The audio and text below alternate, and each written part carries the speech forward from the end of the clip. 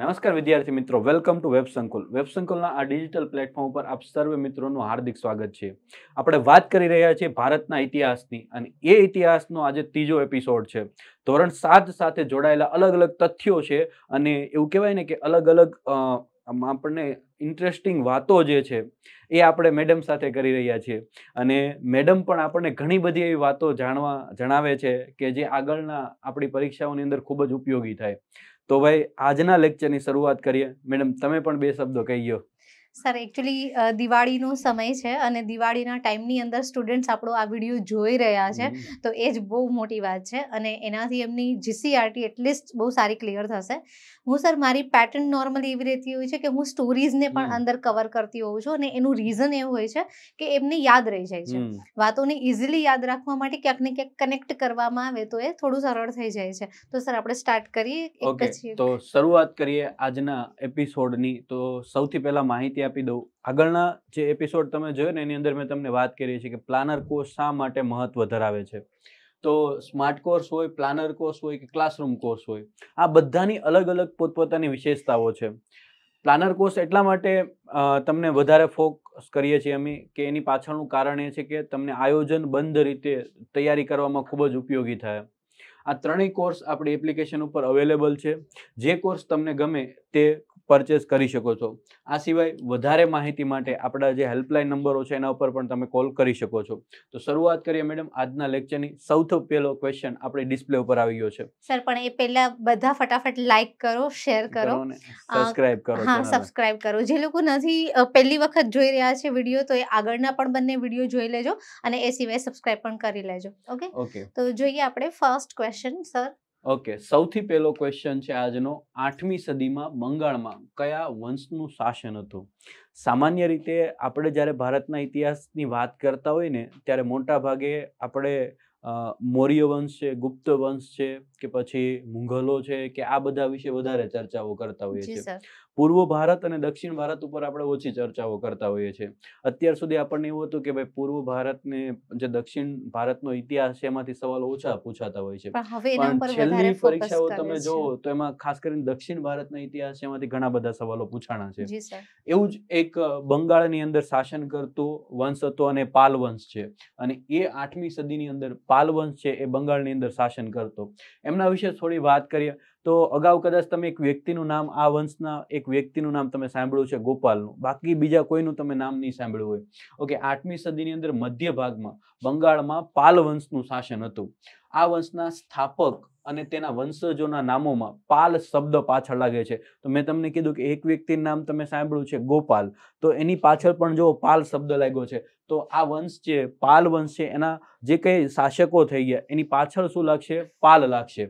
Okay હોવાથી આ વંશનું નામ પાલ વંશ કહેવામાં આવે છે અને આ વંશનો સ્થાપક ગોપાલ હતો. બસ આટલી જ આપણને ખબર હોય છે કે ભાઈ, ગોપાલ છે આ વંશનો સ્થાપક છે. બીજી કોઈ આપણને માહિતી હોતી નથી. પાલ વંશના પતન બાદ એક હજાર ને પંચાણુંમાં સેન વંશની સ્થાપના થઈ. મેડમે આગળના પહેલા લેક્ચરની અંદર તમને વાત કરી હતી કે સામાન્ય રીતે પાલ વંશ વિશે આપણને ખબર હોય છે. પણ આપણને આના પછી જે સેન વંશ આવ્યો હતો, એના વિશે આપણને કંઈ ખબર નથી હોતી. તો મેડમને એ પણ હું કહીશ કે આ સેન સેન વંશ વિશે પણ થોડી વાત કરે. આ સિવાય બીજી વાત કરું કે ભાઈ, આ સેન વંશનો પ્રથમ શાસક કેવો હોય તો વિજય સેન હતો, જે નોંધપાત્ર રાજા પણ હતો અને એનો પુત્ર છે બલ્લાલ સેને. એને બે ત્રણ બિરુદ અપનાવ્યા હતા અને એમાંનું એક છે દાન સાગર અને અદ્ભુત સાગર નામના બે ગ્રંથો રચેલા અને આ સિવાય એને બે બે ઉપાધિઓ પણ ધારણ કરેલી છે. તો મેડમ, આ બે વંશ વિશે થોડી વધારે ડિટેલમાં માહિતી આપજો. જી, સર. એકચ્યુઅલી સર આપણે જે ચર્ચા કરીએ છીએ ને રાજપૂત યુગની એ હર્ષવર્ધન પછી આવ્યો છે. અને હર્ષવર્ધન પછીના ટાઈમમાં મેં કહેલું કે કન્નોજને જીતવા માટે ત્રિપક્ષીય યુદ્ધો થયા હતા. આ ત્રિપક્ષીય યુદ્ધોમાં ગુર્જર પ્રતિહારો હતા પાલ વંશ હતો અને એ સિવાય રાષ્ટ્રકૂટ વંશ હતો. તો સર આપણે હર્ષવર્ધન વખતે ચર્ચા કરેલી હતી કે ગૌડ જે પ્રદેશ છે એ સમયમાં ગૌડ કહેવાતું. હવે આપણે એને બંગાળ કહીએ છીએ બરાબર? અને ત્યાં આગળ છેલ્લે શશાંક વિશે આપણે વાત કરી હતી. અને શશાંકે હેલ્પ કરેલી હતી. રાજ્યવર્ધનને મારવામાં શશાંકનો રોલ સૌથી મહત્વનો રહ્યો હતો. અને હર્ષવર્ધનનું અને શશાંકનું બહુ લાંબો સમય સુધી યુદ્ધ ચાલ્યું. આઈ થિંક છસો ઓગણીસ સુધી. એ દર વર્ષે છસો છ થી હર્ષવર્ધન ગાદી ઉપર બેઠું ત્યારથી લઈને છસો ઓગણીસ સુધી. દર વર્ષે યુદ્ધ થયું છે આ શશાંક સાથે. અને પછી એવું કહેવાય કે આ ગૌડ સત્તા જે છે એ હર્ષવર્ધનના હાથમાં જતી રહેલી હતી. હર્ષવર્ધનના મૃત્યુ પછી દરેક જગ્યાએ અવ્યવસ્થા ઊભી થયેલી હતી અને એ અવ્યવસ્થાની અંદર એક સામાન્ય વ્યક્તિ હતો પણ વહીવટમાં એ ઘણો નિષ્ણાંત હતો. એ કોઈ રાજ પરિવારમાંથી નહોતો આવતો બહુ સામાન્ય વ્યક્તિ હતો. અને પ્રજાએ એને કહ્યું કે તું જ યોગ્ય વ્યક્તિ છે ગાદી ઉપર બેસવા માટે. અને એને ગાદી પર બેસાડ્યો એ એટલે આપણો ગોપાલ.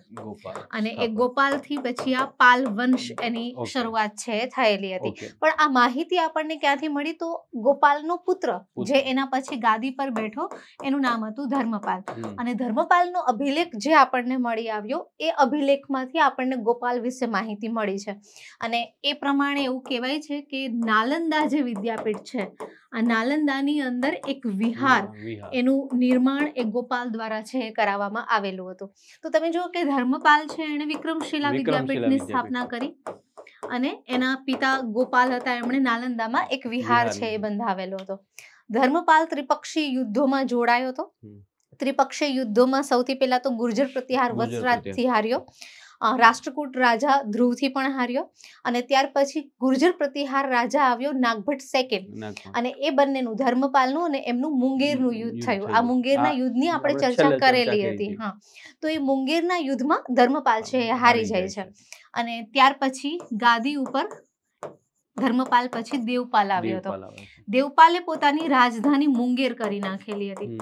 સર આ મુંગેર બહુ મહત્વનું મહત્વની જગ્યા છે અને બહુ લાંબો સમય સુધી મુંગેર ચર્ચામાં રહેલું છે આજ સુધી રહેલું છે. ખાસ કરીને એના કટ્ટા માટે જાણીતું છે. અઢી અઢી હજાર રૂપિયામાં કટ્ટા પણ મળી જાય મુંગેરની અંદર અને કટ્ટા બનાવવાનું બહુ સારું કારખાનું ઇવન ગૃહ ઉદ્યોગ ત્યાં આગળ મુંગેરમાં ચાલે છે. તમે જુઓ ને તો આપણે એક બક્સરનું યુદ્ધ થયેલું હતું. અને મોહમ્મદ બિન કાસિમ તમને ધ્યાનમાં હોય તો. સોરી બક્સરના યુદ્ધની અંદર જે આપણે આખી ઘટના બની છે એમાંય મુંગેરનો રોલ છે એ ઘણો મહત્વનો રહ્યો છે. અહીંયા દેવપાલ છે એ પણ પોતાની રાજધાની છે એ મુંગેર કરી નાખે છે.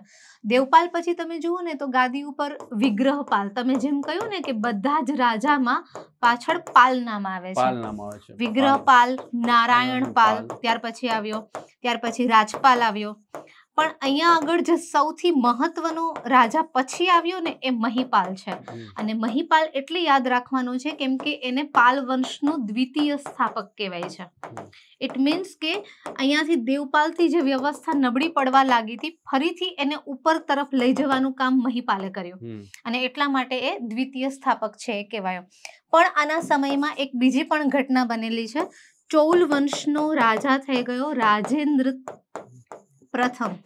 અને રાજેન્દ્ર પ્રથમે મહિપાલ ઉપર આક્રમણ કરી અને એના બંગાળના પ્રદેશને જીત્યું હતું ગંગા પ્રદેશને જીત્યો હતો. અને પછી રાજેન્દ્ર પ્રથમે ગંગે કોંડ આવી પદવી પણ ધારણ કરેલી હતી. અને પછી એણે એક નગર પણ વસાવ્યું હતું ગંગે કોંડ ચોલાપુરમ. ચોલાપુરમ. આ ચૌલ વંશનો રાજા હતો બરાબર? ચોલાપુરમ એણે નગર છે એ વસાવ્યું કાવેરી નદીના કિનારે. અને એવું કહેવાય છે કે એણે ગંગા નદીનું પાણી એ અહીંયા આગળ છે ઠાલવ્યો. તો બધાને પ્રશ્ન થતો હતો કે આણે ગંગા નદીનું પાણી કેવી રીતે ઠાલવ્યું હશે આ જળાશયની અંદર? તો એકચ્યુઅલી એણે ઘણા રાજાઓને હરાવ્યા. ખાલી મહિપાલને એકને નહીં. બહુ બધા રાજાઓને હરાવ્યા. અને એ બધા જ રાજાઓ અને એના સૈનિકો એ રાજાઓના દીકરાઓ આ બધાના માથા ઉપર ગંગામાંથી પાણી ભરી ભરીને ઘડા મૂક્યા. અને એને અહીંયા સુધી છે લઈ ગયો. અને પછી એ ઘડા બધા છે ઠાલવી અને આખું જળાશયનું નિર્માણ કરાવેલું. તો એનું આ અંતિમ રાજેન્દ્રનું યુદ્ધ છે મૈપાલ મહિપાલ સાથે થયેલું એમાં એ હારી ગયેલો. છતાં આ વંશ છે ચાલે છે આગળ પણ. અને પછી છેલ્લે પેલું સેન બખતિયાર વંશ. ખિલજી સુધી. નહીં પછી પાલ વંશનું છે એ પતન થઈ જાય છે. અને સર તમે વાત કરીને કે સેન વંશની પણ થોડી તમે વાત કરજો. તો પાલ વંશનું જે પતન થયું પછી ત્યાં આગળ છે એ સેન વંશ આવ્યો. અને સેન વંશનું સ્થાપક એને આપણે વિજય સેન છે એ કહીએ છીએ. વિજય સેન પછી મહત્વનો એનો પુત્ર એટલે બલ્લાળ સેન. બલ્લાળ છે. સેન ખૂબ જ મજબૂત રાજા હતો જેણે આ ગ્રંથોના નિદાન સાગર અને અદ્ભુત સાગર ગ્રંથોની નિર્માણ કરાવ્યું. અને બલ્લાળ સેનનો પુત્ર જે હતો એનું નામ હતું લક્ષ્મણ સેન. આપણે સર તમે ગીત ગોવિંદ પુસ્તકનું નામ સાંભળેલું હશે હા. આ ગીત ગોવિંદ પુસ્તકના રચયિતા કવિ જે જયદેવ. છે આ જયદેવ એ લક્ષ્મણ સેનના દરબારના કવિ હતા. અને લક્ષ્મણ સેન એવું કહેવાય છે કે સેન વંશમાં આમ તો એ ઘણો સ્ટ્રોંગ હતો એણે વિશાળ એવું પોતાનું સામ્રાજ્ય સ્થાપિત કરેલું. પણ આ દરમિયાન છે મોહમ્મદ ઘોરી ભારતમાં પશ્ચિમ સાઈડથી આવી ગયેલો. મોહમ્મદ ઘોરી પશ્ચિમ મુલતાન એનું પહેલું આક્રમણ છે બરાબર? તો પશ્ચિમ સાઈડથી એ ભારતમાં આવે છે અને એના લશ્કરને એણે ખાસ બે ભાગમાં વિભાજિત કરેલા. એકનું નેતૃત્વ કરતો હતો કુતુબુદ્દીન એબક અને બીજી બાજુ હતો બખ્તિયાર ખિલજી. એટલે આ જે ભાગ છે એ પૂર્વ સાઈડ આવે છે. એટલે બખ્તિયાર ખિલજીનું જ્યારે આક્રમણ થયું એ સમયે અહીંયા લક્ષ્મણ સેન છે એ બેઠેલો હતો. અને સર એક રાજપૂતોમાં એક સમસ્યા હતી એક ટાઈપની કે એ લોકો જ્યોતિષમાં બહુ માનતા. અને જ્યોતિષમાં પાછું એક વ્યવસ્થા એવી પણ ડેવલપ થઈ હતી કે જો જ્યોતિષમાં તો સારું હોય ને ખરાબ હોય ખરાબ એવું. હવે જ્યોતિષીએ જો ખરાબ કહેતો હતો તો પછી એને સજા આપવામાં આવતી હતી. જેલમાં પૂરી દેવા. બધા રાજપૂતો નહીં પણ એ સમયના અમુક રાજપૂત રાજાઓ વિશે આપણે એવું કહી શકીએ. તો બ્રાહ્મણો શીખી ગયેલા બધું સારું સારું બોલવાનું ખરાબ બોલવાનું જ નહીં. તો બન્યું એવું કે લક્ષ્મણ સેનના દરબારમાં આવો જ એક જ્યોતિષ છે જાય છે. અને એ જ્યોતિષ છે એ વાત કરે છે કે ભાઈ મુસલમાન આક્રમણ થવાનું છે. બધાનું બધા રાજપૂતોનો અંત આવવાનો છે. પણ તમે એક એવા રાજા છો કે જેમણે આગળના જન્મમાં ઇવન આ જન્મમાં કોઈ પાપ નથી કર્યા એટલે તમને કંઈ નથી થવાનું. આવું એક જ્યોતિષ આને કહી ગયો. એટલે આને એક વિશ્વાસ બેસી ગયો કેમ કે માનતો જ્યોતિષમાં ખૂબ જ કે મને કંઈ નથી થવાનું. બખ્તિયાર ખિલજી ધીરે ધીરે આગળ વધવા લાગ્યો. અને એના એક પછી એક મતલબ સરહદ સુધી પહોંચ્યો.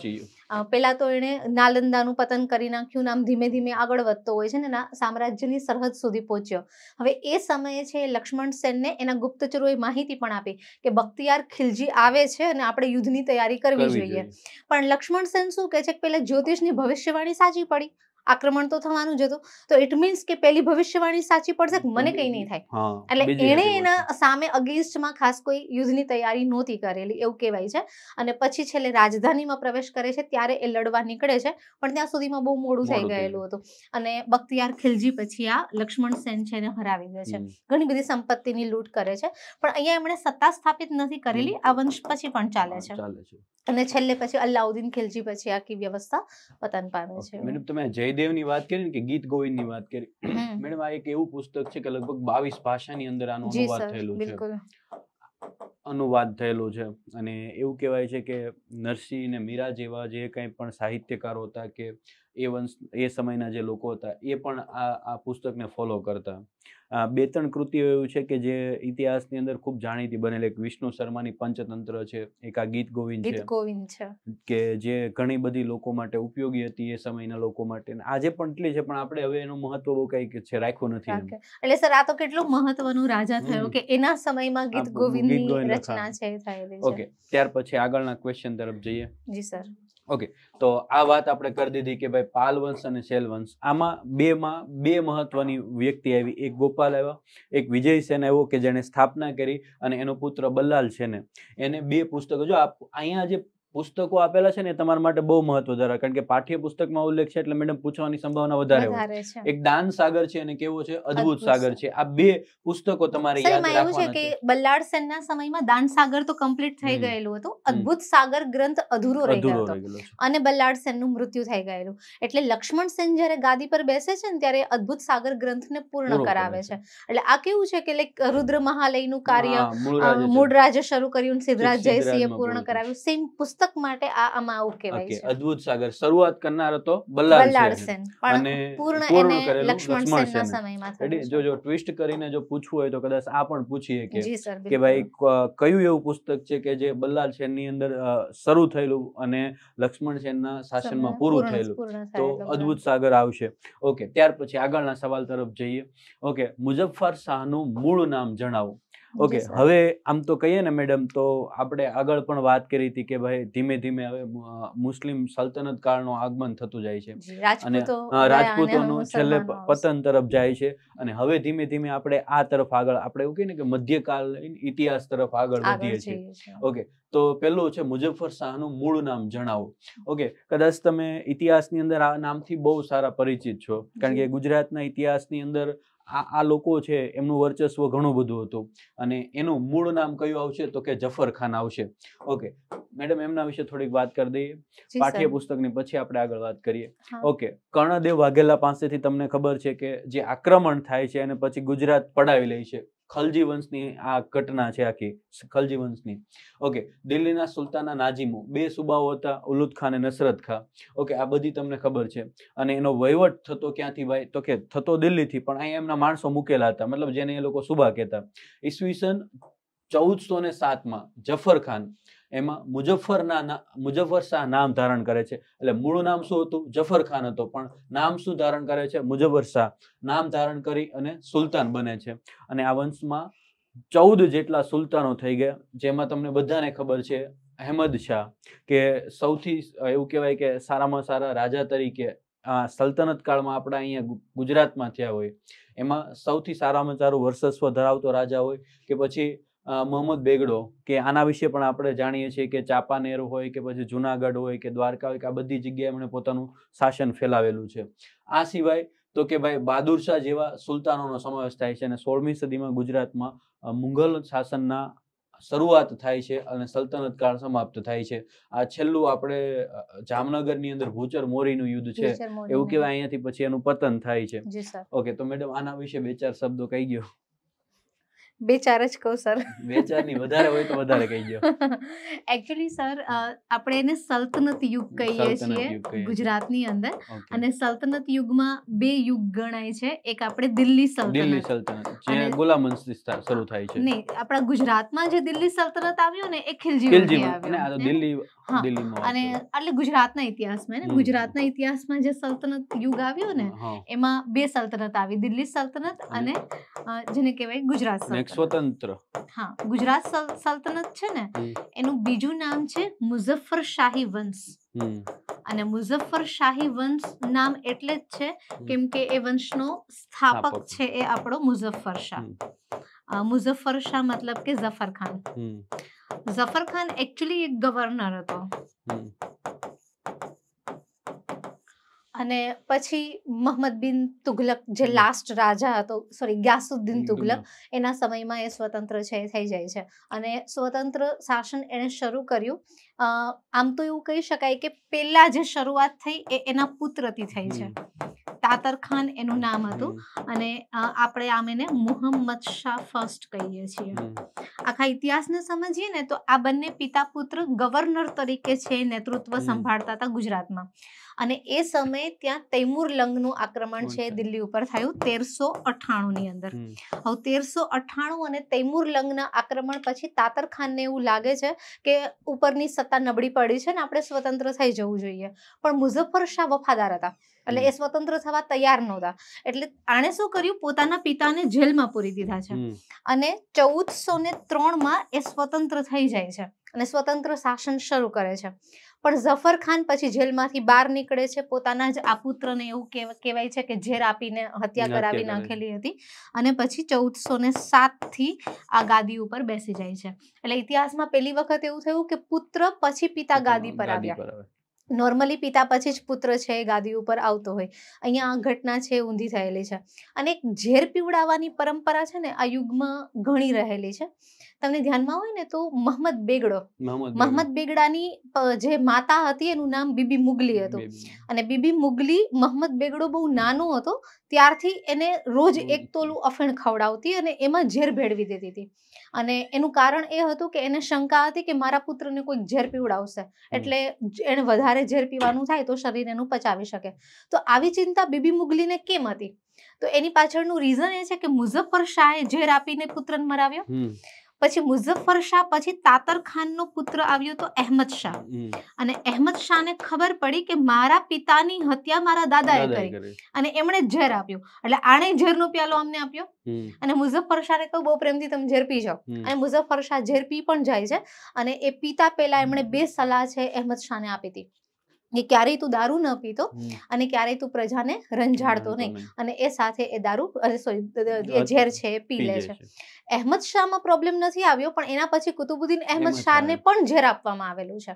એટલે આમ તમે જો ઝેરની એક લાંબી પરંપરા ચાલે અને ગુજરાત સ્વતંત્ર સલ્તનતમાં. અને એટલે બીબી મુગલીને ટેન્શન આવ્યું કે મોહમ્મદ બેગડાને કોઈક દારૂ તો સોરી આપણે ઝેર તો પીવડાવશે. એટલે આવી રીતે આ વ્યવસ્થા આવી. આ વંશના મહત્વના રાજાઓમાં અહેમદ શાહ ગણાય છે મોહમ્મદ બેગડો ગણાય છે બહાદુર શાહ ગણાય છે. પણ એક મુઝફ્ફર શાહ સેકન્ડ પણ છે સર અને મુઝફ્ફર શાહ સેકન્ડ ઇતિહાસની અંદર સંત સુલતાન કહેવાય સંત સુલતાન તરીકે ઓળખાય છે. અને સંત સુલતાન કેવાવા પાછળનું રીઝન એવું નથી કે એણે ખાલી કુરાન મોઢે કરી નાખેલું હતું. એક હાફિઝ હતો. અને હાફિઝ એને કહેવાય જે આખે આખું કુરાન છે એ મોઢે કરી લેતો હોય. તો આ હાફિઝ હતો એટલે આખું કુરાન એને મોઢે હતું. પણ ખાલી કુરાન મોઢે હતું એટલે એ સંત સુલતાન નથી. એના સમયની અંદર બહુ ભયંકર દુષ્કાળ પડ્યો હતો. અને પાણી કંઈ હતું નહીં. એટલે એની પ્રજા એના મહેલની બહાર બેસી ગઈ હતી કે તમે કંઈક વ્યવસ્થા કરો. પણ એની પાસે કોઈ ઓપ્શન નહોતું કંઈ વ્યવસ્થા કરવા માટે કંઈ નહોતું.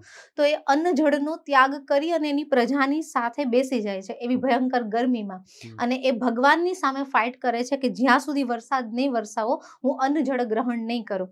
અને ઇતિહાસમાં એવી નોંધ છે કે જે દિવસે એણે અંતિમ શ્વાસ લીધા એ દિવસે વરસાદ પડ્યો. એટલે પોતાના શરીરનું બલિદાન આપી અને એ પાણી લાવ્યો છે એવું લાગે છે અને એટલા માટે ઇતિહાસમાં સંત સુલતાન છે એ કહેવાય છે. એટલે આવી રીતે આ એક સલ્તનતની વ્યવસ્થા હતી આમાં. એટલે તમે કીધું એમ કે આપણે શરૂઆત તો ક્યાંથી થાય છે? કે દિલ્હીના આક્રમણથી થાય છે. પણ આપણે સામાન્ય રીતે એવું જોયું છે. માનો કે અત્યારે ભારતની અંદર આપણું શાસન ચાલે છે તો વડાપ્રધાન છે દિલ્હીમાં શાસન કરે એના જ વ્યક્તિઓ શાસન કરે છે. તો અહીંયા પણ એ જ રીતના હતું કે ગવર્નર થકી શાસન ચાલતું હતું. અને એમાં જ પછી જેમ જેમ સત્તા નબળી પણ જેમ આગળ આપણે જોયું કે જેમ સોલંકીઓમાં જેવો નબળો રાજા આવ્યો ને એટલે તરત જ નવો વંશ શરૂ થઈ ગયો વાઘેલા વંશ. એ જ રીતના સોલંકીઓએ તો કે ચાવડા વંશ નબળો પડ્યો એટલે સીધો ત્યાંથી સોલંકી તો અહીંયા એવું. વાઘેલા આવ્યા. રેડી પણ અહીંયા એવું હતું કે ભાઈ જે પેલાની અંડરમાં કામ કરતા ત્યાંથી છૂટા પડે છે. સ્વતંત્ર થઈ જાય છે અને રાજા બની જાય છે. બાકી પેલા ગાદીઓ મેળવવા માટે થઈને હત્યા કરતા હતા. હત્યા કરતા હતા. પણ આની પાસે તો શાસન ઓલરેડી હતું જ તે. પોતે ત્યાં હતો તે. લોકો તો જાણતા એને જ તે. પણ આમના અંડરમાં એ કામ કરતા. પણ હવે અહીંથી ડર ઓછો થઈ ગયો એટલે અહીંથી સ્વતંત્ર થઈ ગયા. અને એ સ્વતંત્ર થયા પછી આ બધા લોકો થઈ ગયા. અને આમાંના હવેથી મેં તમને કીધું એમ કે આ સલ્તનત કાળ જ્યારથી આવે છે ને પછી અહેમદ શાહ આવે છે ને ત્યાંથી પછી પાટણથી બધું ધ્યાન કેન્દ્રિત ક્યાં થાય છે? અમદાવાદ તરફ થાય. ખાલી ઓગણીસ વર્ષની ઉંમરે ગાદી પર આવી ગયેલો આવેલો છે. અને અમદાવાદની બાંધકામ સાથે પણ ઘણા બધા એમના પેલા જોડાયેલા છે તથ્યો જોડાયેલા છે ઘણી બધી. આપણે ભદ્રનો કિલ્લો એમણે કિલ્લો. બંધાવેલો છે. કે દિવાલ બંધાય છે ને દિવાલ તરત તૂટી જાય છે એ પેલું એક કોઈ છે ને કોઈ પીર છે આઈ પીર છે. એમ પાંચ અહેમદ ને ભેગા કરવાની એવી કંઈક વાત છે આની જોડે જોડાયેલી છે. કે જે પાંચ એવા અહેમદ કે જે ચાર ટાઈમ નમાઝ પડતા હોય. એના હાથે ખાતમુહૂર્ત છે કરવાનું. અને એમાં અહેમદ શાહ પોતે હતા એક એમના ગુરુ હતા શેખ અહમદ. ચાર અહેમદ હતા આઈ થિંક પાંચ અહેમદ નહોતા. કેમ કે એક એમના એક વઝીર હતા અહેમદ અને એક હતા કંઈક પેલા જેને કહેવાય ને કે હજ કરીને આવ્યા હોય હાજી તો એ અહેમદ હતા. એમ મળીને કરવામાં એટલે એ કથા એક આની સાથે જોડાયેલી છે અને ત્યાંથી પછી અમદાવાદ છે જાહો જલાલી તરફ આગળ વધે છે અને ત્યાર પછીનું રાજધાનીનું શહેર બને છે અમદાવાદ. અને પછીથી તમે જો આપણા મેં તમને કીધું હતું કે પહેલા Champaner Champaner world heritage site બે હજાર ચારમાં બને છે. ત્યાર પછી કેન્દ્ર ક્યાં આવે છે? આમ તો આ સલ્તનત કાળમાં થોડો સમય માટે કેન્દ્રમાં ચાપાનેરે રહેલું છે કારણ કે મોહમ્મદ બેગડાના સમયમાં સમયની અંદર રાજધાની હતી. એટલે ચાપાનેર બે હજાર ચારમાં ત્યાંથી પછી પાટણ તરફ આપણે આકર્ષિત થઈએ છીએ. તો પાટણ ને બે હજાર ચૌદમાં અને ત્યાર પછી અમદાવાદ. બે હજાર સત્તરમાં. અમદાવાદ શહેરના જે જેટલા ચોપન જેટલા સ્થાપત્યો છે એમાંથી છવ્વીસ જેટલા સ્થાપત્યો લઈને બે હજાર સત્તરમાં વર્લ્ડ હેરિટેજ સાઇટ નો દરજ્જો મળે છે. બહુ સારી ઇન્ફોર્મેશન સર તમે આપી કે આવી રીતે એક સિક્વન્સમાં તમને યાદ રાખી શકો કે કેવી રીતે ને હકીકત એ છે કે આપણી જેમ જેમ રાજધાની છે આમ આમ કહીએ તો આપણે ગુજરાત છે એનું પાટનગર એ પેલું પાટનગર એ આપણે અમદાવાદ જ ગણી શકીએ છીએ અને એટલા માટે તે જેમ જેમ અહીંયા પાટનગર બદલાય છે જેમ જેમ એનું મહત્વ વધતું ગયું એમ ક્રમમાં અહીંયાથી આપણે વળેલી World સાઈડમાં પણ જતા રહીએ. ઓકે બીજી વાત કરીએ તો કે આ જ સમય એવો હતો કે અહીંયાથી પછી અહેમદ શાહ પછી કુતુબુદ્દીન અહેમદ શાહ આવે છે. અને હોજે કુતુબ એટલે કે આજનું કાંકરિયા તળાવ. અને એ કાંકરિયા તળાવ છે અને પછીથી એકચ્યુઅલી તો એ પેલા કર્ણ સાગર સરોવર હતો જે કર્ણદેવ સોલંકીએ વસાવેલું હતું. અને પછી એ જ કર્ણ સાગરમાં એ હોજ એ કુતુબ બન્યું અને પછી હવે આપણે એને કાંકરિયા તળાવ અને આ આપણે અમદાવાદ કહીએ છીએ તો એના પહેલા ઈ આપણે આશા ભેલની નગરી હા આશા ભેલની હતી આશા આશાવલ્લી. અને ત્યાંથી પછી એ એકચ્યુઅલી આશાવલ એક ભીલ સરદાર હતો. અને એને હરાવી અને એમણે આશાવલ. આશાવ- આશાપલ્લી નગરની સ્થાપના કરી. અને એની બાજુમાં કર્ણાવતી વસાવ કર્ણાવતી. પછી હાલનો વાસણાનો એ એરિયા છે ને ત્યાં પેલું લખેલું છે કદાચ આશા ત્યાંથી આપણને અવશેષો બહુ બધા કર્ણાવતીના મળી આવ્યા છે એટલે. ઓકે અને કર્ણાવતીમાંથી પછી અત્યારે અમદાવાદ તરફ. અને હાલમાં પછી પાછી ચર્ચા બહુ ચાલે છે કે કર્ણાવત? સર શું લાગે છે? નામ બદલી બદલવું જોઈએ નામ બદલવું જોઈએ? જો કેવું છે કે નામ બદલવા પાછળ કદાચ બદલી નાખે તો એમાં ક્યાંય નુકસાન કે ફાયદો છે. પણ નુકસાન ઘણું બધું છે. હા. કારણ કે વર્ષોથી માનો કે તમારા આપણા પોતાનું વિચારે કે આપણા બધા ડોક્યુમેન્ટ છે અમદાવાદના નામે છે. હવે તમે જ્યારે આનું નગર નામ બદલો છો એટલે તમારે બધું ડોક્યુમેન્ટમાં ખાલી હમણાં છે ને મેં બે પાંચ દિવસ કે પંદર દિવસ પહેલા ઇન્ડિયા અને ભારતની જે ચર્ચા ચાલે છે ત્યારે મેં જોયું હતું કે એક ન્યૂઝપેપરની અંદર એક છે ને ભારતમાંથી ઇન્ડિયા કરવું કે ઇન્ડિયામાંથી ભારત કરવું ખર્ચો થાય છે. એ એ એમને પેલું આપ્યું હતું. તો એ દ્રષ્ટિએ જોઈએ ને તો ઘણું બધું છે. સામાન્ય રીતે તમે વિચારો કે આપણા પપ્પામાં કંઈક ભાઈ લાગી ગયું હોય કે પછી આપણા નામ પાછળ કુમાર લાગી ગયું હોય તો એ સુધારવા માટે એફિડેવિટ કરાવી પડે છે કેટલા ધક્કા ખાવા પડે છે. આ તો આખું બદલે છે તો ઘણી બધી ચેન્જીસ પણ જો વસ્તુ કેવું છે કે વિચારોને આધીન છે કે જેવી સરકાર બને છે ઘણા બધા તમે જો એટલે તમે આર્થિક દ્રષ્ટિએ જુઓ તો નુકસાન ઘણું બધું છે કે બહુ બધા પૈસા ખર્ચ કરવો પડશે એના માટે. અને ભાવનાઓ હોય ને તો સર હું બોલવા લાગુ કર્ણાવતી હા કર્ણાવતીમાં જાઉં છું કર્ણાવતી એ તો અને બીજી એક વસ્તુ કદાચ જો આજે હું છે ને વેબ સંકુલ મારે હું કોઈની જોડે વાત કરતો હોય ને વેબ સંકુલ પહેલા મારે જીપીએસસી ઓનલાઈન નીકળી જાય છે. જી સર પેલા કારણ જીપીએસસી ઓનલાઈન હતું. તો અહીંયા એવું જ થાય કદાચ બદલી નાખશું આપણે પણ પેલા તો આપણને શું નીકળશે? ક્યાં જવું તો કે અમદાવાદ જવું છે? એટલે તો પછી સર મૂળ તો કર્ણાવતી હતું એટલે કર્ણાવતી. નીકળી જ જવું નીકળી જોઈએ. જવું જોઈએ. એટલે આ તો કેવું છે કે આપણે એ જો એ સમયના લોકો છે તો એ ત્યારે એ જ બોલતા છે કર્ણાવતી. આજે આપણે કેવું છે કે સમયની સાથે બદલાવ. તો એ જ છે. ઓકે તો આ બધી વાત આપણે કરી દીધી છે કે ભાઈ કર્ણદેવ વાઘેલા પાસેથી ગુજરાત જીતી લીધા પછી એના સુબાઓ છે શાસન કરતા હતા ભાઈ. અને પછી જફર ખાનનું મૂળ નામ મુઝફ્ફર શાહ છે. અને મેડમે તમને વાત કરી કે તાતર ખાનથી લઈને પછી એનો પિતા આવે છે અને ફરી પાછો અહેમદ શાહ આવે છે. અને. અહેમદ શાહ પછી કુતુબુદ્દીન અહેમદ આવે છે કે એને પણ ઝેર દઈને હત્યા કરી દેવામાં આવી હતી.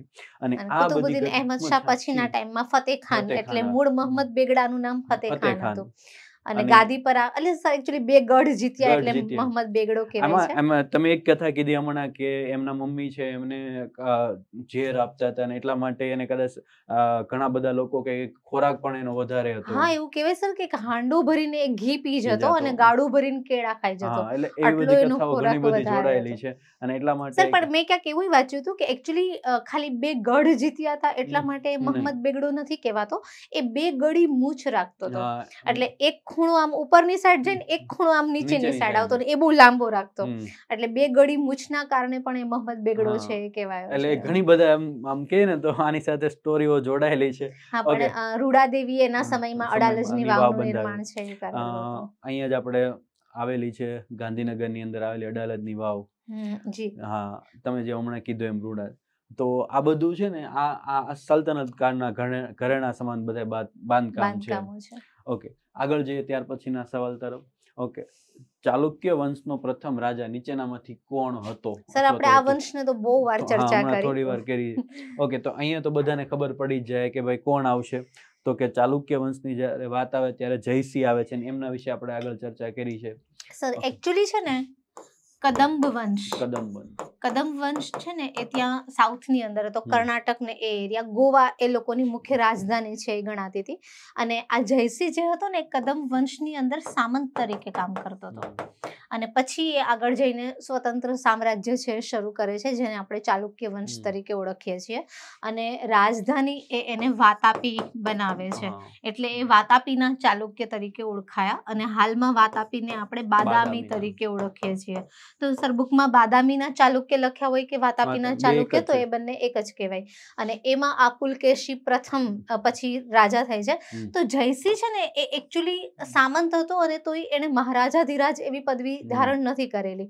એટલે વાસ્તવિક રીતે તો પુલકેશી પ્રથમ જ્યાંથી આ વ્યવસ્થા છે શરૂ થઈને પહેલો રાજા એને આપણે માનીએ છીએ.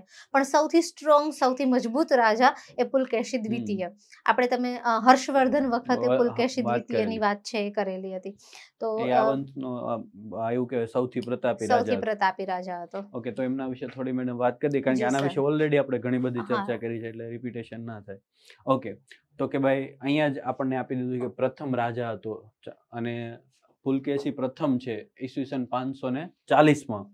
વાતાપીને રાજધાની બનાવે છે અને અલગ સ્વતંત્ર રાજ્ય સ્થાપે છે. અને આ વંશમાં વાતાપી હાલમાં તમે કીધું બાદામીના નામથી ઓળખાય છે ચાલુક્ય વંશ તરીકે ઓળખ મતલબ નામ જ પડી જાય છે કે વાતાપીના ચાલુક્ય. પછી આ વંશમાં કીર્તિવર્મન છે પુલકેશી પ્રથમ છે પુલકેશી બીજો છે જેવા મહત્વના શાસકો થઈ ગયા છે. વાતાપીના ચાલુક્યોની સત્તા નબળી પડતા ત્યાં એક નવી શાખા શરૂ થઈ અને એ કૃષ્ણા અને ગોદાવરીના નદીના કિનારે. અને એ તમે આગળ કદાચ આમના વિશે વાત કરી હોય તો વિષ્ણુવર્ધન હતો કે આનો સ્થાપક હા એ વેંગીના ચાલુક્ય કહેવાય છે. વિષ્ણુવર્ધનને જે સ્થાપના કરીને એ એકચ્યુઅલી અલગ થયા વાતાપીથી અલગ થયા અને પછી ફરીથી એક નવી વ્યવસ્થા આવી જે વેંગીના ચાલુક્ય. એટલે વિષ્ણુવર્ધન એ વેંગીના ચાલુક્ય વંશનો સ્થાપક માનવામાં આવે છે. મતલબ આમાંથી છૂટા પડ્યા છે. જી એમાંથી છૂટો પડેલો એક વંશ વંશ છે. વંશ છે. હા. અને એના સ્થાપક વિષ્ણુ વર્ધન છે છે. આ પૂર્વીય ચાલુક્ય શાસકોએ પોતાની રાજધાની વેગીમાં રાખી અને એ વેંગીના ચાલુક્ય તરીકે જાણીતા થયા અહીંયા આપેલું છે.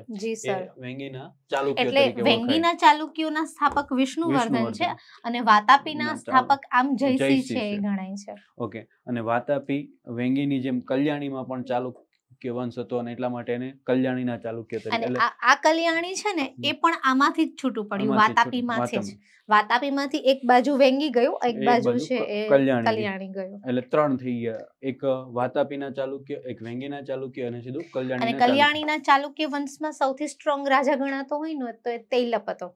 જે મુંજનો સમકાલીન રાજા ગણાતો હતો.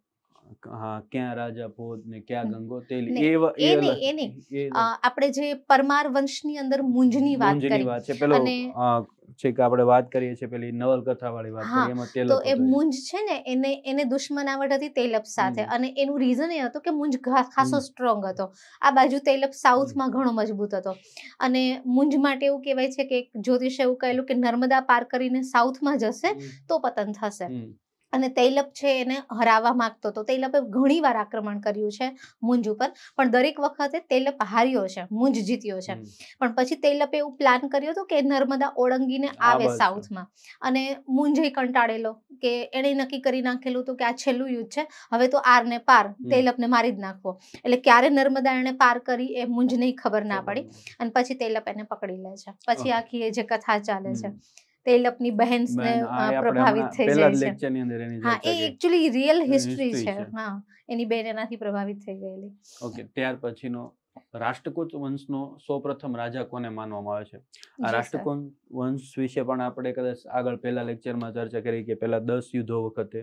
એકચ્યુઅલી સર રાષ્ટ્રકૂટની મૂળ જે શાખા છે ને કે અહીંયાથી આ વંશ ધીમે ધીમે આગળ વધ્યો છે તો એ સાત્યકીથી કહેવાય છે.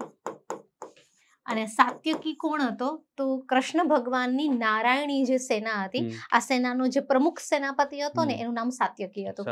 અને રાષ્ટ્રકૂટોના તમામ જે આપણને અભિલેખો અને જે માહિતી મળે છે એમાં એ પોતાને સાત્યકીના વંશજો કે છે.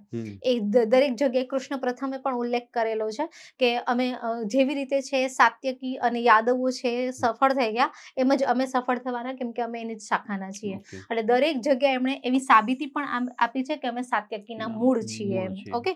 અને આવી રીતે એ ધીમે ધીમે રાષ્ટ્રકૂટ સત્તા છે આગળ આવે છે. દંતી દુર્ગ બરાબર? જે આપણે એને સ્થાપક તરીકે. માનીએ છીએ. માન્યખેટ એની રાજધાની છે એ બને છે. ખૂબ જ મજબૂત છે ને ધીમે ધીમે તો એનું કહેવાય કે ઉત્તરમાં કન્નૌજ સુધી સત્તા છે રાષ્ટ્રકૂટોની આવી ગયેલી હતી. કેમ કે પેલા ત્રિપક્ષીય જે યુદ્ધો થયા હતા એ ત્રિપક્ષીય યુદ્ધોમાં શરૂઆતમાં તો કન્નૌજ ઉપર છે એ ગુર્જર ગુર્જર પ્રતિહારોએ લીધું. પણ ગુર્જર પ્રતિહારો પાસેથી આ કન્નૌજને રાષ્ટ્રકૂટોએ જીત્યું. અને પછી ત્યાં આગળ રાઠોડ જે આવ્યા. તો પછી આ રાષ્ટ્રકૂટોની સત્તા અહીંયા આગળ છે સ્થાપિત થઈ ગયેલી. એટલે એમ ધીમે ધીમે ખાસું ડેવલપ થાય છે. આ વંશનો સૌથી સ્ટ્રોંગ એટલે દંતીદુર્ગ પછી એના કાકા આવ્યા સર. કૃષ્ણ પ્રથમ. કૃષ્ણ પ્રથમ. દંતીદુર્ગ એનો ભત્રીજો હતો આ એના કાકા હતા. અને આનું સૌથી મહત્વ એ છે કે એણે ઇલોરા. નું નિર્માણ છે. ઇલોરાની અંદર જે શંકર ભગવાનનું મંદિર છે એક જ પથ્થર હા કૈલાશ કૈલાસનું એ એક જ પથ્થરમાંથી આખું મંદિરનું નિર્માણ કરાવ્યું છે. અને એ એક જ પથ્થરની પાછી અદ્ભુત વાત એ છે કે ઉપરથી નીચે જાય છે. આપણે નીચેથી ઉપર નિર્માણ નથી થયું ઉપરથી નીચે છે નિર્માણ થયું. છે. અને કૃષ્ણ પ્રથમના સમયની અંદર છે કરવામાં આવેલું. તો ધ્રુવ આ સમયમાં થઈ ગયો. ગોવિંદ તૃતીય મજબૂત રાજા છે તો આ સમયની અંદર.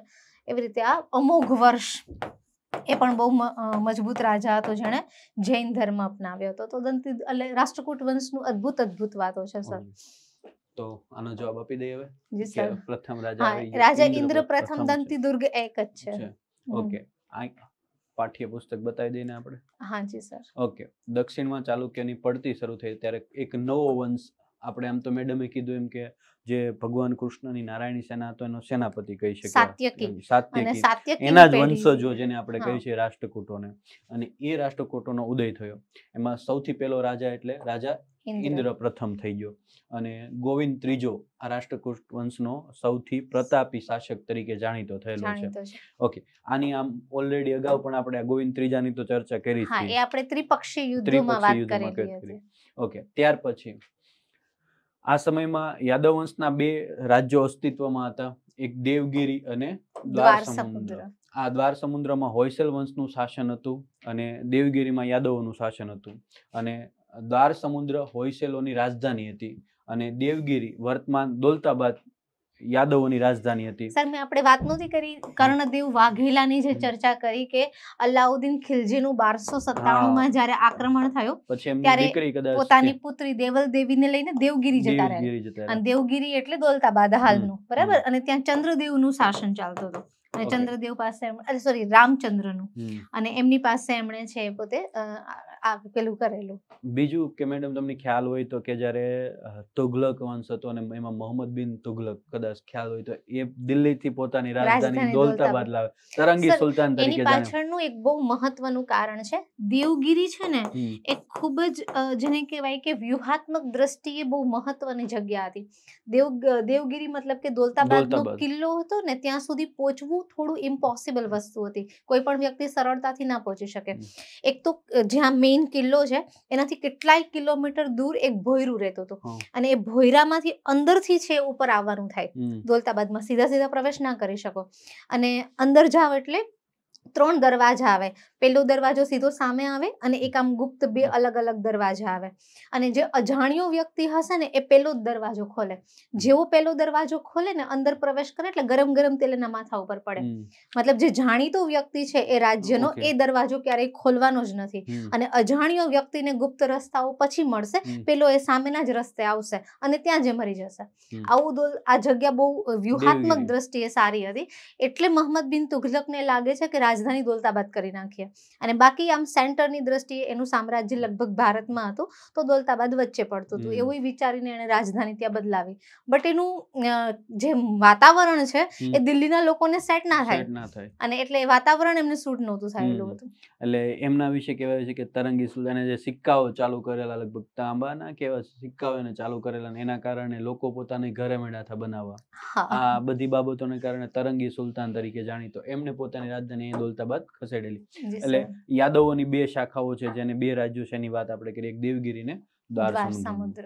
દ્વાર સમુદ્ર હોયસલ લોકોનું મેઇન હતું ગણાય છે. અને પેલી તો આપણે વાત કરી કે એની આ દ્વાર સમુદ્રની રાજધાની હોયસેલો હતી અને દેવગીરીની હાલમાં દોલતાબાદ ઓકે ત્યાર પછી આગળના ક્વેશ્ચન તરફ જઈએ. ઓકે કૃષ્ણા અને કાવેરી નદી વચ્ચેનો ભૂમિ પ્રદેશ ઉપર કોનું શાસન હતું? આ કદાચ હમણાં તે આપણે એમના વિશે થોડી ચર્ચા કરી હતી. કૃષ્ણા અને કાવેરી નદી વચ્ચે તો છેલ્લે તો કાકતીય વંશ આવશે. અને એ કાકતીય વંશ છે એની ચર્ચા આપણે કરવાની છે. કાકતીય વંશની વાત કરીએ તો કે દક્ષિણના જે કલ્યાણી ચાલુક્ય જે હતા ચાલુક્યની ત્રણ ભાગ આપણે કીધા હતા. જેમાં તૈલપ વાળું જે કલ્યાણીનું ચાલુક્ય છે. એનું પતન થાય છે અને ત્યાં નવા નવા રાજ્યો પછી આવે છે. ઉદય થાય છે. એમાં વરંગલના કાકતીયનો પણ સમાવેશ થાય છે અને કૃષ્ણા અને કાવેરી નદી વચ્ચેનો જે મૂળ પ્રદેશ છે ત્યાં કાકતીય વંશનું શાસન હતું. અને વરંગલ તેની- રાજધાની હતી. આવો જ એક મહત્વનો હતો પલ્લવ વંશ અને પલ્લવ શૈલી માટે પણ ખૂબ જાણીતો છે નાગર હા. નાગર શૈલીની પેટા શૈલી તો કે પલ્લવ શૈલી છે મંદિરો એકચ્યુઅલી દક્ષિણ ભારતની અંદર મંદિર કલ્ચર લાવવાનું કામ જ પલ્લવોએ કરેલું. છે અલગ અલગ શૈલીઓ મહેન્દ્ર શૈલી આવી. નરસિંહવર્મનની મહામલ શૈલી આવી અલગ અલગ ઘણી શૈલીઓ આવી છે. ઓકે તો એ પલ્લવ વંશ પણ હતો અને આ વંશની સ્થાપના બપ્પાદેવે કરેલી અને એની રાજધાની કાંચીપુરમ હતી. અને પછી મહેન્દ્ર વર્મન પ્રથમ છે. આ તમે હમણાં વાત કરી કે નૃષિવર્મન નૃષિ વર્મન પ્રથમ છે. નૃષિ વર્મન બીજો છે. આ મહત્વના બધા શાસકો હતા.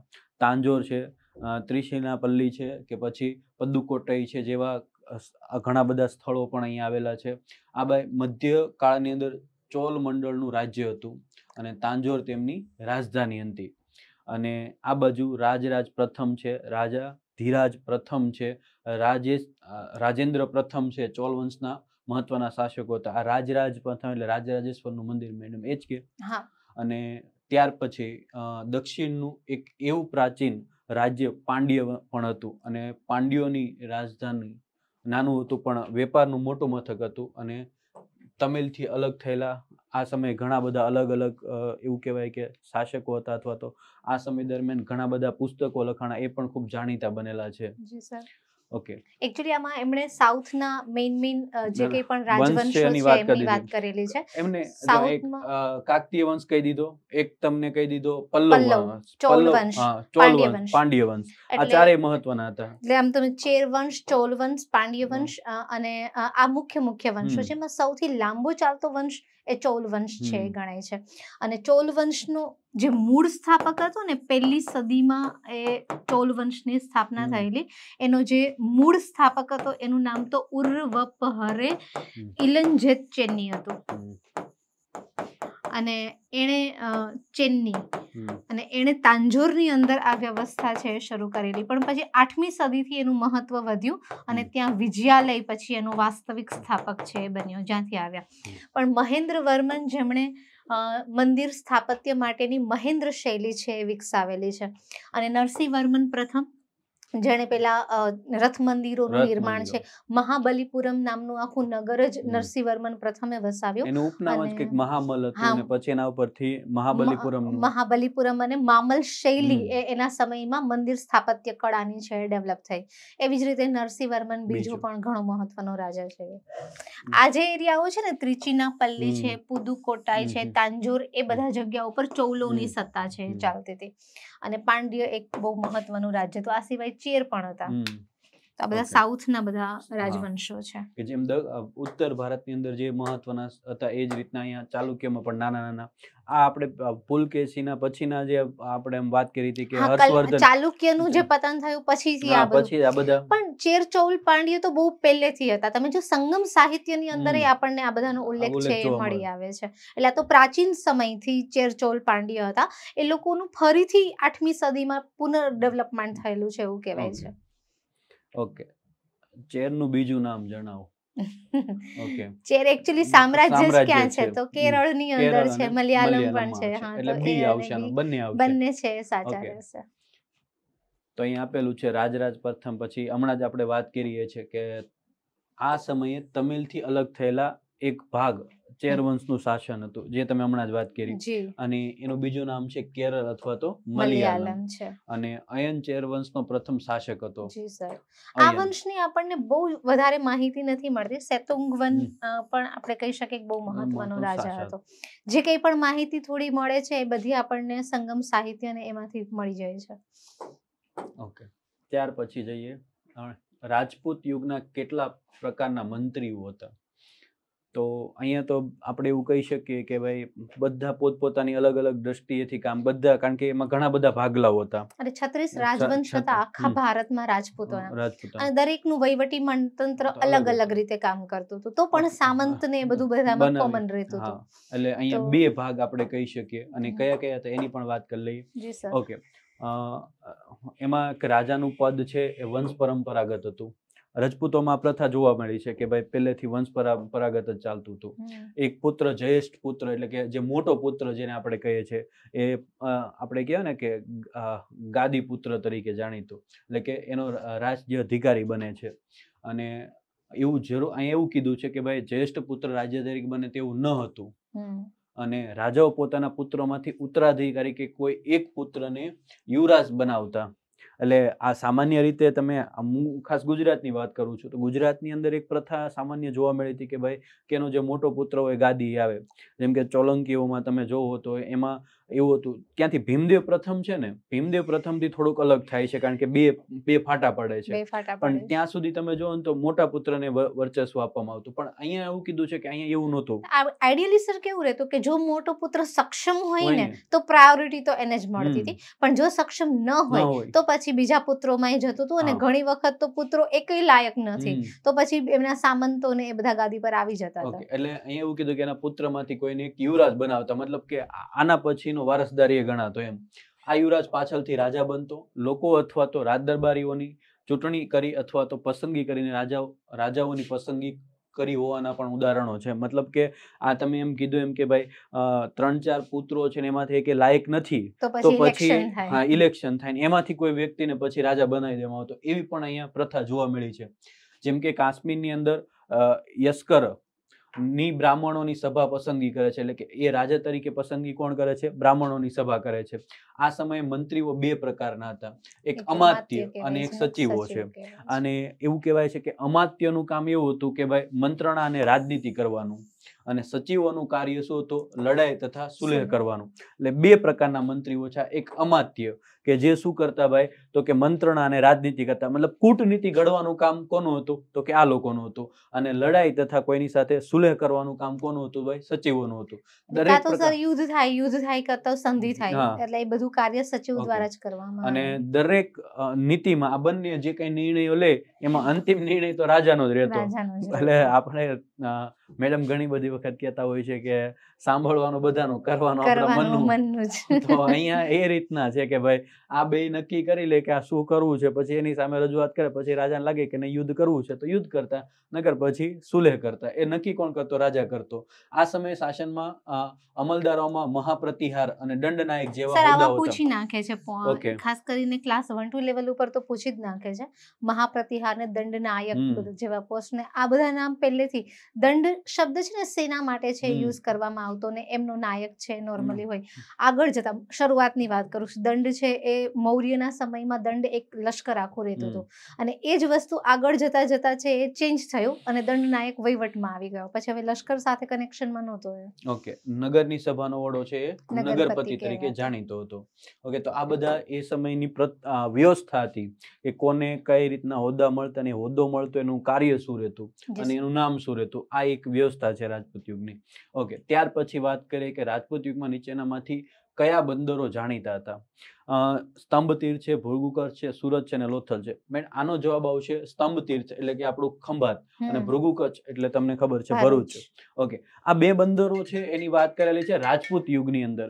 આમ તો સામાન્ય રીતે તમે જ્યારે મુંગલોથી મુઘલોથી તમે જુઓ ને તો ત્યાં પછી સુરત વધારે કારણ કે એ સમયે ખુદ અકબર કે પછી એના પછીના જે રાજાઓ હતા કે આ બધા લોકો છે એ શું માનતા કે સુરત છે મહત્વનું? કારણ કે મક્કા જવા માટે સૌથી મહત્વનું બંદર સુરત હતું એટલે એને વધારે મહત્વ મળતું. આ લોથલની જો વાત આવે તો તમને ખબર છે કે ભાઈ જે. આપણને હડપ્પીય સભ્યતાના અથવા તો સિંધુ ખીણ સભ્યતાના જે પુરાવો મળ્યા છે એમાં એક મહત્વના બંદર તરીકે લોથલ હતું. મતલબ જૂનામાં જૂનું કે બીજા શબ્દોમાં કહું તો ચિત્રકલાના સૌપ્રથમ આપણને નમૂના મેળવ્યા હોય તો પણ અહીંથી લોથલમાંથી મળ્યા છે ગુજરાતમાં. આ સિવાય સુરતની મેં તમને વાત કરી કે એ કદાચ અંગ્રેજોની જો વાત કરીએ તો પહેલી કોઠી એ સુરતમાં સ્થાપે છે અને બંદરની દ્રષ્ટિએ મહત્વનું હતું એટલા માટે ગુજરાતમાં એને સિલેક્ટ કરે છે.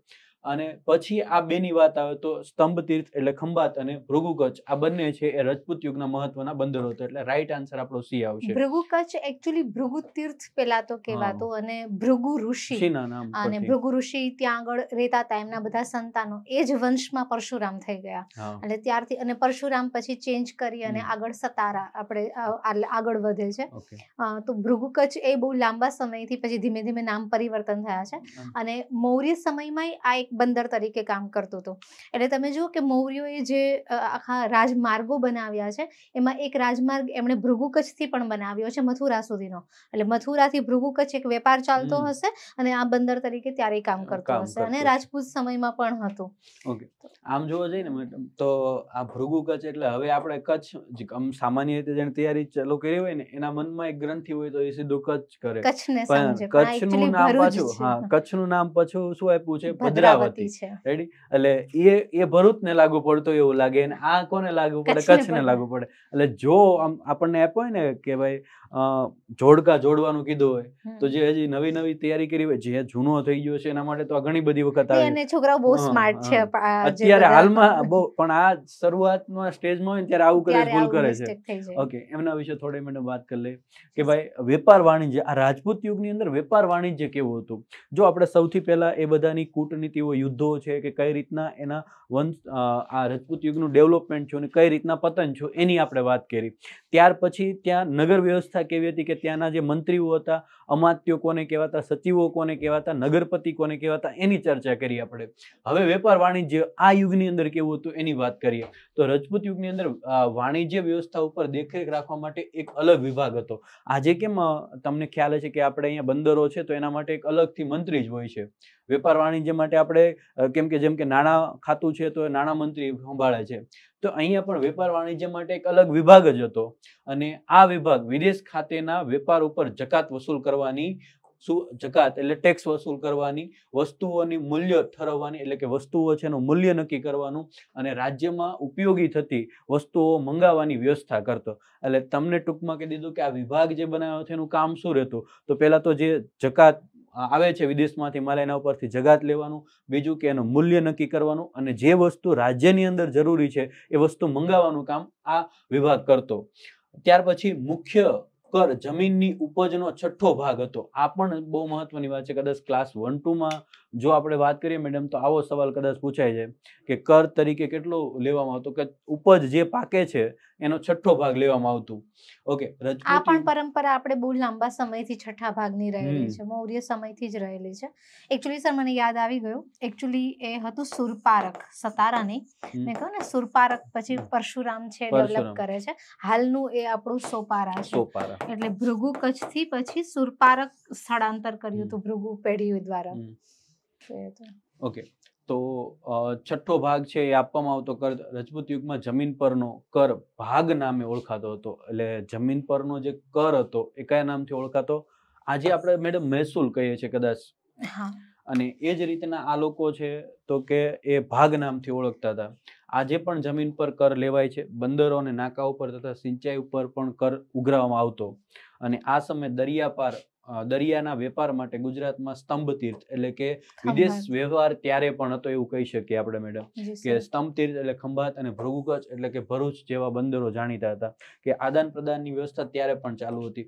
મેડમ આ મોહમ્મદ ઘોરેની જ્યારે વાત કરીએ ને ત્યારે મને એક વાત યા ઘણી બધી વખત મેં એક બે જગ્યાએ વાંચી છે અને એક બે જગ્યાએ વિડીયોમાં પણ જોયું છે. સત્ય છે કે નથી એ ખબર નથી પણ એ સમયે આરબ વેપારીઓ છે ને ભારત સાથે વેપારથી કનેક્ટ હતા. અને એ લોકો જ્યારે ત્યાંથી પસાર થતા ને તો એની સમૃદ્ધિ આ જોતો આરબમાં કે આ બધું તમે ક્યાંથી લાવો છો એમ?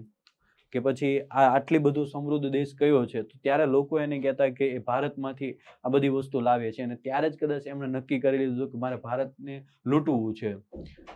આ આ એક બે ત્રણ વખત મેં અલગ અલગ જગ્યાએ જોયું છે, કયો પ્રાંત પ્રાંત એમાં લખેલો હતો પણ એ મને યાદ નથી આવતો અત્યારે. એટલે આપણે તો શું વિદેશ સાથે વેપાર તો આપણો પહેલેથી ચાલ્યો છે. પ્રાચીનમાંય આપણો વિદેશ સાથે વેપાર ચાલતો હતો. મધ્યકાળમાંય ચાલે છે અર્વાચીનની અંદર ચાલે છે.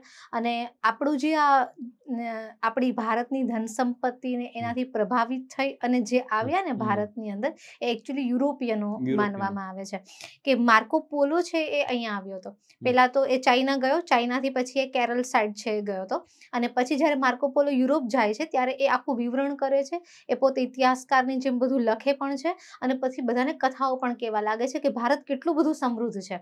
અને પછી યુરોપિયનોને એવું લાગે છે કે આપણે ભારત સાઈડ જવું જોઈએ. ત્યાં સુધી એમનું કોઈ અહીંયા આવવાનું પ્લાન નહોતો. આપણો આરબો સાથે બહુ લાંબા સમયથી વેપાર ચાલતો હતો. તો આ વાત થઈ વેપાર અને વાણિજ્યની. ત્યાર પછી વાત કરીએ કે મોહમ્મદ ઇબ્ન કાસિમે ભારતના કયા ભાગ ઉપર આક્રમણ કર્યું હતું? જી સર. આપણે ચાર ભાગ પાડીએ છીએ સામાન્ય રીતે.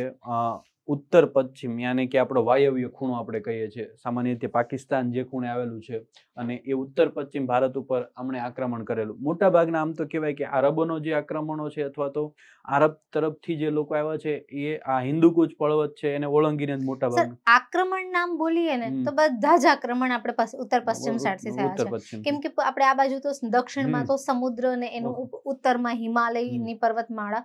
ખાલી એક જ જગ્યા હતી આપણી સાઈડ જે થોડી વીક હતી. તો એ જગ્યાએથી જ એ લોકોએ પ્રવેશ કર્યો છે દરેક આક્રમણમાં. ઓકે. તો અહીંયા આવશે ઉત્તર પશ્ચિમ ભાગ. ઓકે આઠમી થી બારમી સદી દરમિયાન ભારતમાં મુસ્લિમ આક્રમણો છે.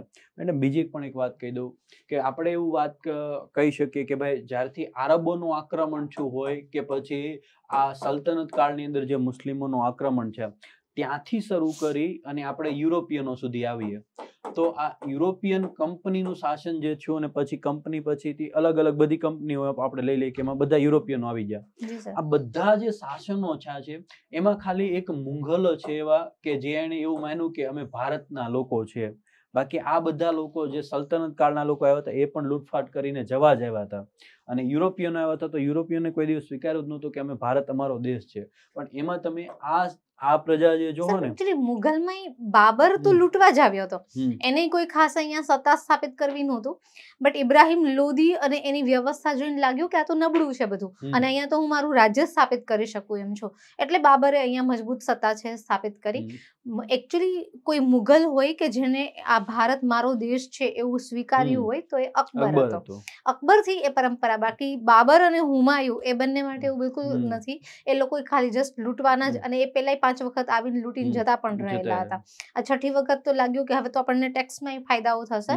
તો લૂંટીને જતા રહેવા કરતા સત્તા મેળવવી સારી તો એટલે એમણે સત્તા મેળવી. મતલબ આ વસ્તુ આપણને અહીંયાથી જોવા મળે છે. બાકી કહું બીજી કોઈ પણ પ્રથા એના પછી જે યુરોપિયન આવે એમને કોઈ એવો ઈરાદો નતો કે અહીંયા સ્થાયી થઈ પણ એ જ્યાં સુધી જાહો જલાલી હતી ત્યાં સુધી એ પોતેનું અહીંયાથી લૂંટફાટ થાય એટલે કરવા માટે જ આવ્યા હતા.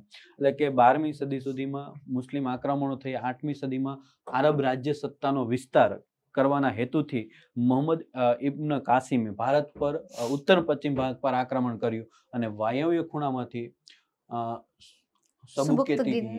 લશ્કરે આક્રમણ કર્યું અને આ આક્રમણ તે સમયે ભારતના રાજ્ય સત્તા ના સ્થાપી શક્યો. એટલે કે આક્રમણ તો કર્યું પણ પોતાની સત્તા સ્થાપી શક્યો નહીં. અને પછી ગજનીના સુલતાન મોહમ્મદ ગજનીએ ઈસવીસન એક હજાર ને એક હજાર ને છવ્વીસના સમયગાળાની અંદર ભારતની અઢળક જન સંપત્તિ જોઈ અને કેટલીક વખત એવું કહેવાય કે જ્યારે ગુજરાત ઉપર આક્રમણ થાય છે એક હજાર ને છવ્વીસમાં પ્રથમ ભીમદેવ પ્રથમના સમયની વાત છે કદાચ તો ત્યારે લગભગ સત્તરમું એનું આક્રમણ હતું ગુજરાત ઉપર અથવા તો ભારત ઉપર આપણે કહી શકીએ. એટલે કેટલીક વાર એને પછી આપણા ભારત ઉપર આક્રમણો કર્યા લૂંટફાટ હેતુથી. ઓકે ત્યાર પછી સર એકચ્યુઅલી આમાં શું છે? કે ત્રણ મહત્વના લૂંટ કરવા આવનારા વ્યક્તિઓ વિશે વાત કરી છે આમાં. એમાં મોહમ્મદ બિન કાસિમ સૌથી પહેલો છે. મોહમ્મદ બિન કાસિમ ભારતની અંદર આવ્યો. એને લઈને એવું કહેવાય છે કે સાતસો અગિયાર બાર. બરાબર? એ દરમિયાન એનું આક્રમણ છે. એ થયેલું છે હા અહીંયા આગળ. અને એનું સીધું આક્રમણ જે થયું હતું ને સિંધ પ્રદેશ ઉપર થયું હતું. એટલે આપણે એવું કહીએ છીએ ભારતનો એ ઉત્તર પશ્ચિમ ભાગ છે કહેવાય છે. અને ત્યાં આગળ દાહિર કરીને એક રાજાનું શાસન હતું. એકચ્યુઅલી આ લોકો બ્રાહ્મણ હતા. દાહિર હતા એ. અને દાહિર છે એ ચચનો પુત્ર હતો. ચચ કરીને એક બ્રાહ્મણ એમના પિતા હતા અને એનો એ પુત્ર હતો દાહિર. અને આપણને આ બધી માહિતી એક ગ્રંથમાંથી મળે છે જે ગ્રંથનું નામ છે ચચનામા. જેમાંથી આપણને આખો સિંધનો ઇતિહાસ છે મળે છે. તો આ ચચનામા ગ્રંથ પ્રમાણે ચચ એક બ્રાહ્મણ હતો અને બ્રાહ્મણ પછી છે એ આ સિંધની ગાદી ઉપર બેસે છે અને પછી એનો આ બીજા નંબરનો દીકરો દાહિર એ શાસન કરે છે. તો બ્રાહ્મણાબાદ ને આ બધા એ સમયમાં બ્રાહ્મણાબાદ એક એમનું બહુ મહત્વની જગ્યા હતી. આ સિવાય દેબલ એમનું સૌથી મોટું બંદર હતું જે સૌથી સમૃદ્ધ પણ હતું.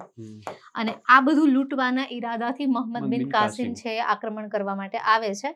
દાહિરનું ત્યાં મૃત્યુ છે થઈ જાય છે. આ પ્રદેશને એ લૂંટી લે છે જીતી પણ લે છે. અને દાહિરની બે દીકરીઓ એકનું નામ હતું સૂર્યાદેવી. અને એકનું નામ હતું પરમલ દેવી આ બંનેને પોતાની સાથે છે લઈ જાય છે. જે લૂંટ કરીને ગયો એમાં આ બંને દેવીઓ પણ હતી.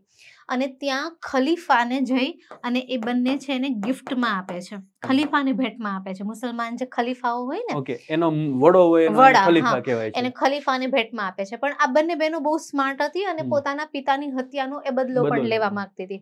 એટલે ખલીફાને શું કે છે કે અમે તમારા લાયક નથી તમે અમને ટચ ના કરો. આ વાત એમણે ખોટી કરી હતી. હકીકત નહોતી. ખોટું એવું કહ્યું કે ભાઈ મોહમ્મદ બિન કાસિમ ઓલરેડી અમારું અપમાન કરી નાખ્યું છે અમારા ઉપર રેપ કરી નાખ્યો છે અને પછી એણે તમને ગિફ્ટ કર્યા છે. એટલે અમે તમારા લાયક નથી અમે પવિત્ર નથી એમ. એટલે ખલીફાને ખૂબ જ ગુસ્સો આવી જાય છે કે મોહમ્મદ બિન કાસિમે આવી બે સ્ત્રીઓ મને કેમ ભેટમાં આપી? એટલે પછી મોહમ્મદ બિન કાસિમની હત્યા કરાવી નાખી. એટલે આખા ચામડાની અંદર એને વીંટાળી દીધો હતો અને શ્વાસ રૂંધાવાના કારણે મોહમ્મદ બિન કાસિમનું મૃત્યુ થઈ ગયું. એટલે પછી જ્યારે આ મૃત્યુ પામ્યો પછી આ બંને બહેનોએ ખલીફાને વાત કરી કે એવું કંઈ નહોતું જેવું અમે કહ્યું છે. પછી એમણે જે હકીકત હતી એ હકીકત કહી કે અમે તો અમારા પિતાનો બદલો લેવા માંગતા હતા. પછી ખલીફાને અફસોસ થયો કે આ એમણે કૃત્ય નહોતું કરવું જોઈતું. તો આ બંનેને પછી છે જળ સમાધિ દેવડાવી દે છે એટલે પાણીમાં નાખી દે છે. તો આવી આખી સ્ટોરી. એ આપણને ચચનામામાંથી છે એ મળે છે જે સિંધનો આખો ઇતિહાસ છે. ઓકે. અને ત્યાર પછી તો સુબુક્ત ગીન છે સુબુક્ત ગિન. છે એ આવ્યો પણ ખાસ ભારતની અંદર વધારે કંઈ મેળવી ના શક્યો એટલે એને લઈને ઇતિહાસમાં બહુ ડિટેલ નથી. પણ મોહમ્મદ ગજનવી. અને પછી આવ્યો મોહમ્મદ ઘોરી આ મહત્વ મહત્વના આક્રમણો ગણાય છે. ને ગજનવી ને ઘોરી બહુ ફેમસ છે એટલે ખબર છે. બધાને. ઓકે ત્યાર પછી બુંદેલખંડનું રાજ્ય અન્ય કયા નામથી ઓળખાય એવું પાછળથી નહીં હા, અન્ય કયા નામથી ઓળખાય છે? અન્ય કયા નામથી ઓળખાય છે? કયા નામથી એટલે બુંદેલખંડ ના ચંદેલો કહી લો કે. જજાક ભુક્તિ ના ચંદેલો કહી દો બંને એક જ બંને છે. એક જ છે. અન્ય. કયા નામથી એવું કહી શકે તો રાઈટ આન્સર આપણો એ આવશે.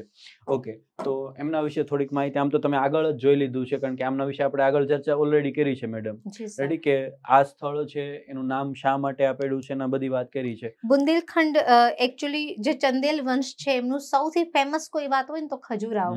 અને મહોબા શરૂઆતમાં એમની રાજધાની ખજુરાઓ હતી અને ખજુરાઓથી બદલાવી અને એ મહોબા એ પોતાની રાજધાની છે એ લઈ જાય છે. પણ ખજુરાઓના મંદિરોના નિર્માણમાં જેટલા કદાચ મેડમ મંદિરો અત્યારે લગભગ પચીસ જેટલા હયાત છે. હા તો એ મંદિરો એમની સૌથી બેસ્ટ વ્યવસ્થા છે કહેવાય છે. બુંદેલખંડનું રાજ્ય આગળ પણ ચાલ્યું છે અને એમાં તમે જુઓ તો મસ્તાની જે બાય થઈ ગયા. એકચ્યુઅલી બુંદેલખંડના જ હતા. જ્યારે આપણે બાજીરાવ પ્રથમ મરાઠાઓમાં હોય છે. અને બુંદેલખંડ સાથે તમે મૂવીમાં જોયું તો બુંદેલખંડની સોગાત આવો શબ્દ યુઝ કરવામાં આવે છે. તો એ જજાક ભુક્તિઓ મૂળ હતા ચંદેલો છે. પાઠ્ય પુસ્તક કરી દે બતાવી દે અમને જી સર. ઓકે ગુર્જર પ્રતિહારોના સામ્રાજ્યના પતન બાદ આ આપણે વાત કરી હતી. કનોજમાં ગઢવાલ રાજ્ય. અને એ સમયે બુંદેલખંડની જેજાક ભુક્તિના ચંદેલો માળવામાં પરમાર વંશ કે જેની આપણે વાત કરી હતી કે રાજા ભોજ હોય કે બધા પરમાર વંશના રાજા હતા. પછી અણહિલવાડમાં ચોલુક્ય અથવા તો સોલંકીઓ અને ચેદી રાજ્ય. અને સાકંભરીના ચૌહાણ અને ત્યાર પછી દક્ષિણ રાજસ્થાનનું ગોહિલ. એટલે આ આગળ જતા ગોહિલી તોક તરીકે ઓળખાણા પછી એમાં સિસોદિયા વંશ આવે છે. એટલે આ બધું એકચ્યુઅલી ગુર્જર પ્રતિહારના પતન પછી છે પતિની વાત છે. એટલે આપણે આગળ આની ચર્ચા કરી હતી પણ એમાંથી જ આ સવાલ બનેલો છે એટલા માટે. ઓકે. તો મેડમ અહીંયા આપણે આ ત્રીજા એપિસોડને પૂરો કરીએ છીએ. ત્રીજા એપિસોડ સુધીની અંદર ઘણી બધી અઢળક આમ તો કહીએ ને કે પેલું ને બીજું ચેપ્ટર જ હજી આવ્યું જી આપણે મધ્યકાળમાં તો આવી ગયા પણ સાતમા ધોરણનું પેલું અને બીજું ચેપ્ટર પૂરું થયું છે. એટલે હવે પછી ત્રીજું ચેપ્ટર તરફ આપણે આગળ વધવાના છે. એટલે અહીંયા સુધીની અંદર તમને છે ને લગભગ ઘણી બધી ક્લેરિટી કે આ જે ઇતિહાસ અમે જે વાત કર્યો છે ને ધોરણ સાતની અંદર એ કદાચ તમે શરૂઆત જોવો ને ભાઈ તો શરૂઆતની વાતો તમને ખબર છે કે ભાઈ આમ તમને પૂછી લે કે કેટલા વેદો છે અને આ બધી વસ્તુ તો આ બધાને ખબર જ છે મેડમ અને ત્યાંથી શરૂ કરીને પછી હર્ષવર્ધન સુધી આવે તો બધી બધી ખબર છે. પણ આ વચ્ચેનો એક આ મિડલ એરા એવો છે કે જે લગભગ એને કોઈ clear પૂર્વ મધ્યકાળ છે પૂર્વ મધ્ય પૂર્વ મધ્યકાળ એ લગભગ કોઈને ખબર નથી હોતી આના વિશે. અને જ્યારે જ્યારે દક્ષિણમાંથી આમાંથી સવાલો પૂછાય છે ત્યારે તો લગભગ મોટા ભાગના લોકો. અને પછી તમે જે આ ત્રિપક્ષીય યુદ્ધો કીધા છે. લગભગ બહુ ઓછાને ખબર છે કે આવા બધા યુદ્ધો આ બધા અંદરો અંદર એકબીજા સાથે સંકળાયેલા હતા અથવા તો એકબીજાને સમકાલીનો હતા. રાઈટ તો આ બધી ચર્ચાઓ જે કરી છે કે જે એક એરા એવો હતો કે જે આપણા નજર સુધી નહોતો પહોંચ્યો ક્યારે. અને હજુ પણ આગળ કે જે મહત્વની બાબતો છે ધોરણ સાતના ઇતિહાસ સાથે જોડાયેલી છે કે પછી ધોરણ આઠ જો આપણે શરૂ કરીશું તો એના ઇતિહાસની જે મહત્વની બાબતો છે આ બધાની ચર્ચા આપણે આગળ કરવાની છે. ફરી એક વખત નવા એપિસોડ એપિસોડ ચારની અંદર આપણે ચર્ચા કરીશું. તો આજે અહીંયા કરીએ છીએ. થેન્ક યુ ઓકે તો ભાઈ, ફરી એક વખત તમને અપાવી દઉં કે આપણા ઘણા બધા પુસ્તકો છે કે જેટલી તમે ઇન્ટરેસ્ટિંગ માહિતી અહીંયાથી આપીએ છીએ ને એ બધી માહિતી તમને આપણા બધા પુસ્તકોમાં જોવા જ મળશે. ક્લાસ થ્રી માટે હોય ક્લાસ વન ટુની તૈયારી કરતા હોય કે પછી તમે જનરલ બધી તૈયારી કરતા હોય, તો આમાં બધામાં ઉપયોગી થાય એવા બધા પુસ્તકો છે. જેમ કે તમે ફોરેસ્ટની તૈયારી કરો છો, તો વન સારથી ને વન રક્ષકની બુક છે. આ સિવાય તમે ક્લાસ થ્રી કે સીસી પેટર્નની કોઈ પણ તૈયારી કરો છો, તો એમાં આ બધા પુસ્તકો તમને ક્લિયર થાય. આ સિવાય કે કરંટ અફેર્સ છે બહુ મહત્વનું છે અને એના માટે આપણું વર્તમાન, વિશેષ કરીને કરંટ અફેર્સનું મેગેઝિન આવે છે. અને હવે અપકમિંગ ત્રણ બુકો છે, જેમાં એક આપણો આધુનિક ભારતનો ઇતિહાસ છે. આમ તો ભારતનો સાંસ્કૃતિક વારસો એ આપણો બુક લોન્ચ થઈ ગઈ છે. અને ભૌતિક ભૂગોળ આ બે અત્યારે કઈ છે, તો કે અપકમિંગ બુકો છે. બાકી તમને બધાને ખબર છે કે આપણું જે કન્ટેન્ટ છે કેવું આવે છે? એવું કહેવાય કે ક્વોલિટી સાથે કન્ટેન્ટ જો મળતું હોય તો વેબ સંકુલમાંથી. તો અહીંયા આજના એપિસોડ પૂરો કરીએ મેડમ બે શબ્દ. બસ આવી જ રીતે તમે જોડાયેલા રહેજો. નેક્સ્ટ એપિસોડમાં ફરીથી મળજો. હાલ આ લેક્ચર જોયા પછી લાઇક કરજો કમેન્ટ કરજો. કોમેન્ટની અંદર તમે બતાવજો કે આગળ તમારે વધારે શું ડિટેલમાં જાણવું છે કે કઈ એવી વાતો છે કે જે તમે નવી છે એ જાણ્યો આ લેક્ચરની અંદરથી. ઓકે ફરી મળીએ એક વખત. જય હિન્દ જય થેન્ક યુ